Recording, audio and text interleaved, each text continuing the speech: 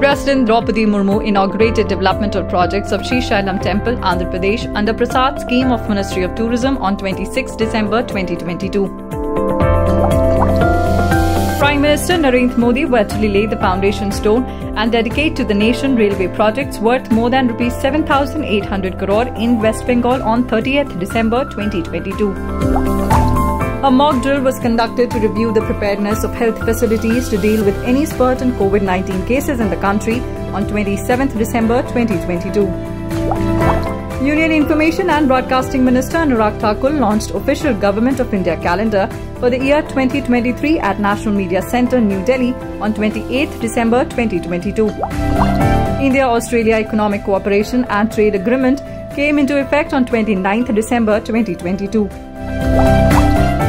Minister Amit Shah laid the foundation stone of Central Intelligence Training Institute and inaugurated ITBP's residential and non-residential complexes at Devanahalli, Bangalore on 31st December 2022.